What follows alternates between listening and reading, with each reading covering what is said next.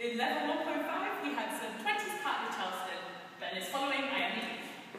Tap, step, tap, step.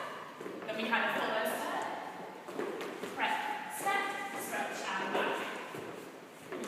Ah, this one, isn't it? Then we had a guy's turn, Oh, please turn. tap and step, then go and back. Okay. And the challenge was to do them both at once.